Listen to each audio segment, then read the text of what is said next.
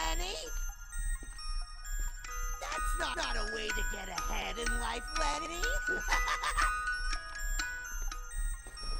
Lenny, quit monkeying around.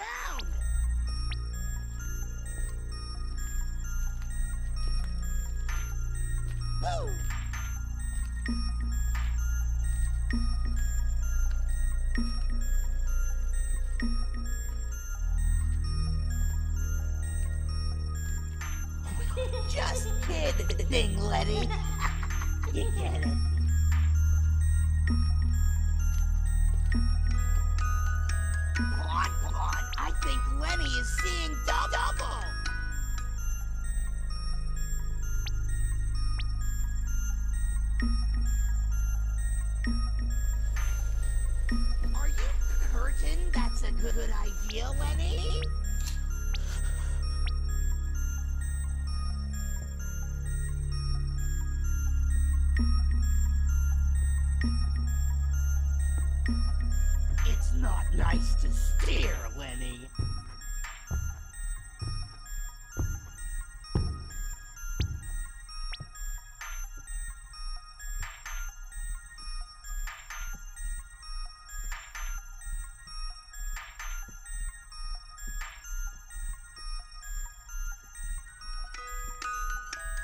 time's the harm!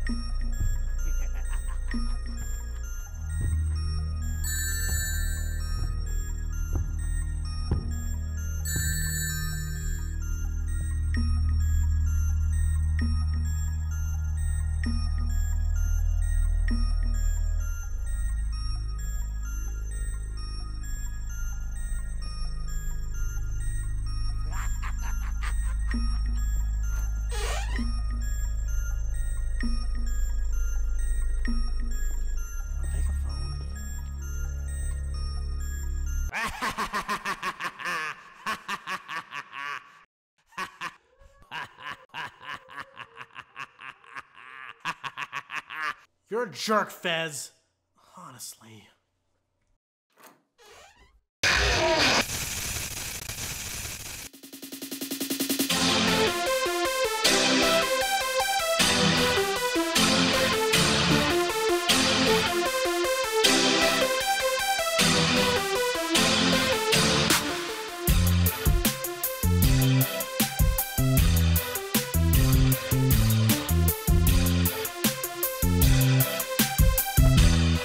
Hello, everybody. Welcome again to the voiceover show. I'm Lenny.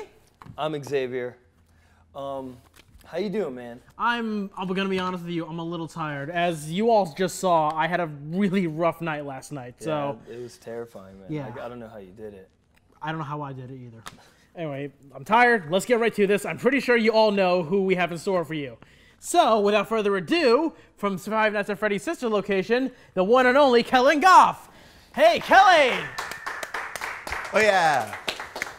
How's it going? What's up, man? Yes. How you doing, my man? skin. Okay. Hello. All right. Oh, okay. I see how it is. Kellen, how you doing? I'm all right. This is uh, a little different for me, the whole heat thing, because you know I'm from LA, where there's none right now. a drought. Yeah. Oh, well, the drought is actually better now because we got like a huge freaking rainstorm. Uh, yeah, like the biggest in 10 years, apparently. Like there was even a Facebook thing like, check if your Cali people are okay. And I'm like, I'm checking in. Damn, I didn't know it was that bad.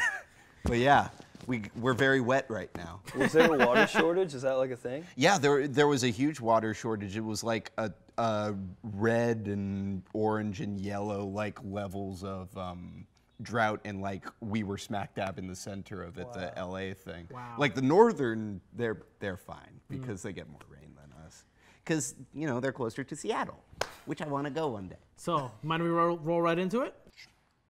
Let's do it. How'd you get into voice acting? Wow, that's a big one. Um, well, back when I was, my dad will tell you that I got into it when I was three, when I started copying cartoon characters, just how they talked and stuff. But um, on a, I, I guess that's where it started and on I, I started doing animation like flash animation for cartoons and stuff when I was 13 12 um, That's old Flash. that's old flash that's macromedia flash Newgrounds Um, Flash. Newgrounds Flash. Goodness gracious. but um I actually had my own website. I didn't bother with Newgrounds because I was afraid. What was They- it called? On Newgrounds, there are a lot of like uh, people who are trolls to be trolls. Oh, I mean, okay. not anymore. It, makes it's better now. But I and I yeah, honestly, yeah, I, it's so I much look, better now. I look back on Newgrounds with fondness. Actually, a lot of my friends are from Newgrounds. But um, Right, voice acting, right. Yeah. um, the from there, I, I sort of like the voice part of it more, if I can say that. And fr- and I, I like in my friends uh, in my friends projects, they would ask me to do stuff like Brawl Machinima and stuff. Oh, Remember cool. those days? Yeah, I love those. the Super Smash Brothers Brawl. Oh, you yeah, could you could move the characters around and make them like puppets Yeah. it was like really, really at the time it was really uh, innovative. But um, it, they did it with Halo Three too. Yeah. But from there, I was like, hey, I don't, I, I'm, I don't have the patience to create really. I don't have the patience to draw frame by frame by frame, even to do tweens. So um, I started uh, doing what you know everybody told me I was I had potential at. So, like, are there any really big voice actors you look up to? I mean, Oh, definitely. Um, well, I look up to D. Bradley Baker a lot. He voiced uh, Appa and Momo on uh, Avatar: The Last Airbender. So all the aliens in Ben 10. Oh wow. yeah. He, he is incredible. If you've ever heard a, uh, I, I look up to Frank Welker too, but if you've oh, ever Frank heard, Welker is a legend. Frank Welker is God. Um, he, he's the godfather of uh, the voice. All hail Lord Frank. All hail the Welker. Um, Welkerism, we call it. But um, but Ask uh, your local church. ask your local church. Um, but if you've ever heard a uh, an animal in any animated film, it's either D, uh, Frank Welker, or the real thing. That that's he does animal sound effects, and I that's what I Didn't want. he like do the roars in Lion King, where like roaring into a trash can? Mm-hmm. He, it, I use that trick a lot too. You have, you put a tin trash can by the side of your face, and you go, and it, it Dude, sounds that sounds echoey. good even without yeah, that that. was terrifying. It sounds echoey with the Yeah, of trash course. can. though. Wow. Um, but uh, as for who I've trained with, I've trained with at 16. I trained with Bob Bergen, and he's the one who taught me to do animal noises in the first place. I guess Bob does a lot of in Emperor's New Groove. He was uh, the little chipmunk thing. little um, Oh my but, God, I remember but he taught me how to bark like a dog, and that was what. I'm, cur- I'm curious. Listen, you dirty old man. We're not to that part of the show yet. I'm curious of what this dog bark sounds like. You're you're bark curious. oh my god. That's impressive. That's Wow. so legit. I couldn't do it at all at first, but it's been what am I 22? It's been six years. Wow. Wild. So yeah, now I can. legit, now I go up to my grandma's house and make all the neighborhood bark. That's it. yeah, but um, other than uh, Richard Horvitz was my first real acting teacher because he's all about the acting. You, voice acting. If you think you can just get into it by doing funny voices, you are sorely mistaken. It is the acting first and foremost because voice acting is. Acting is hard enough on its own, but voice acting you have to do it without facial expressions, without a partner most of the time, Yeah. with, without feedback most of the time. You, they, you just have to nail it on the first take sometimes. And when, when, like, how do they do it? They show you something and they're like, or they, they describe it to you verbally? well, it depends on the type of voice acting. If it's like um, if it's like straight up animation, your voice comes first, then you'll.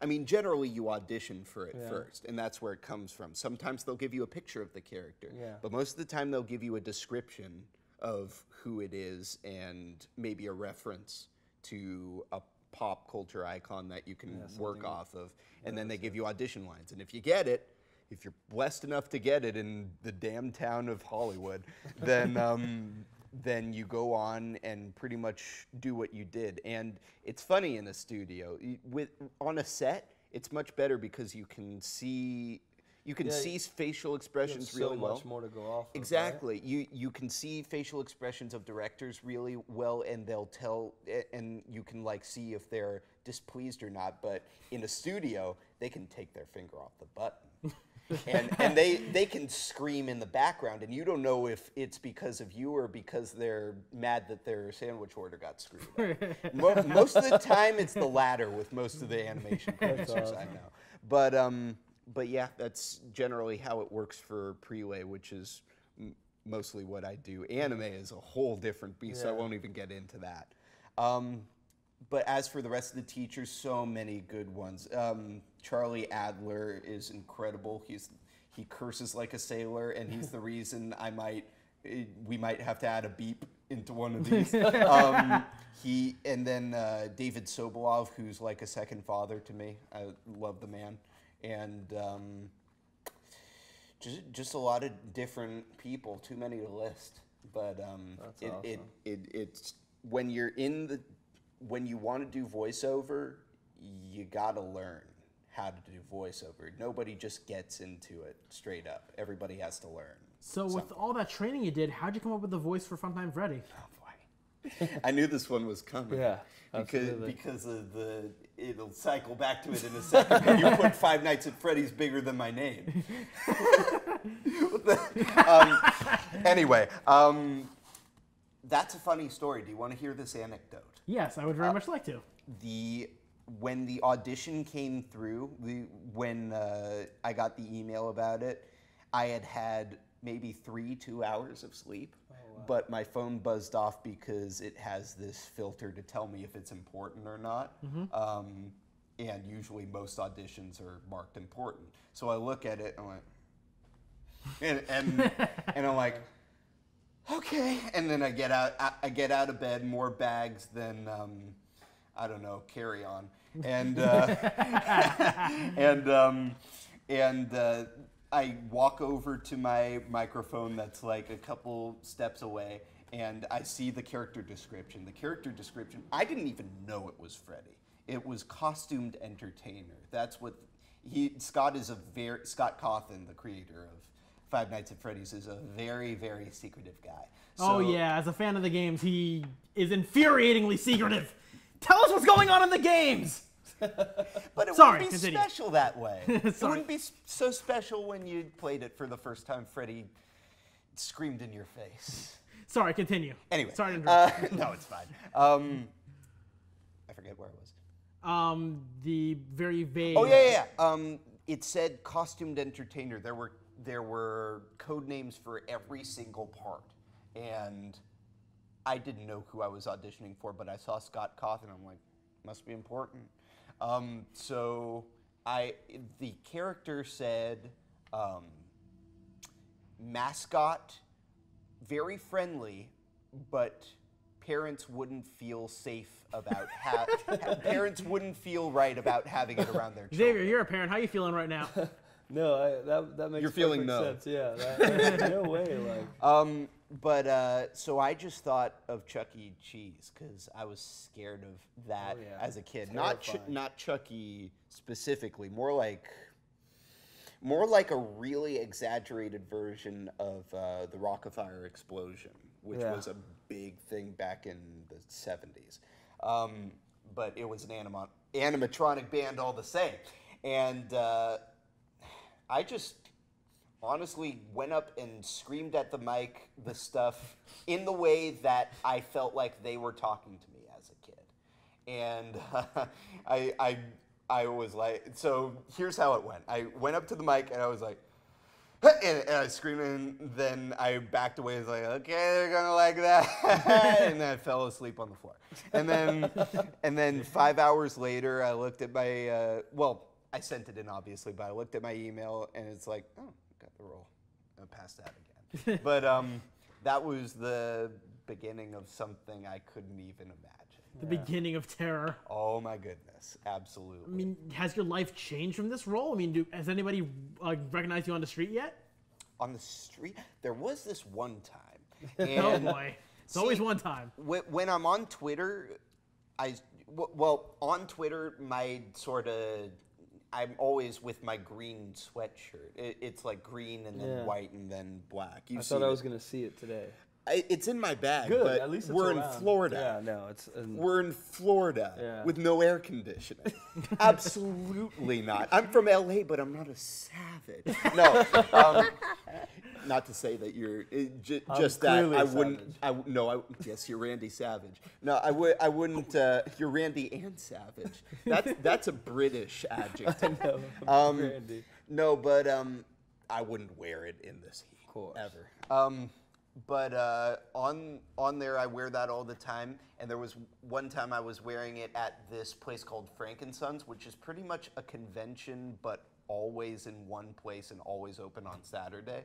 So like it's a dealer room full of different, you know, odds and ends and Well, that's oddities and stuff, like like that you could find in a dealer hall. And um, I was walking away from the Transformers booth because I adore Transformers to death, to death, and uh, I heard from like across across like 48 acres or whatever, and um, I look back. I didn't see anything. It was like a Field of Dreams moment. I didn't, I didn't, I didn't know where it came from. I didn't want to know. It was just magical. Um, I've been recognized at conventions a couple of times, but never on the street though, because there's not really a face to Freddy other than his own. The, like, like a very select few know what the Fred, Yeah. what Freddy's voice actor actually, Funtime Freddy's voice actor actually looks like, which is this ugly mug right here. Get a close I feel like this is gonna, this is gonna boost it when people start watching this and people start looking at this. It's gonna boost it because Yeah? now you're you're full Thi- person. You're This full is going to personality. this is going to No, be the mugshot that they have on every. that. When I go missing eventually, they're going to paste this frame right here on a wanted sign. That's exactly what's gonna happen. I hope so. The missing part. I'll make sure of it. Okay. So at the Am I ti- going to be on the milk carton? Sorry, go ahead. so at the time of this episode, it's not out yet. But like, what's it like seeing merchandise of the character you play? Oh my god, I, that that was the dream ever since I started voice acting. I wanted to have a toy of something that I did. The next step up, wait, like, okay, I'll talk about what's happening right now. Is I was about to say, is, is f- Anyway, it's f***ing amazing. Um,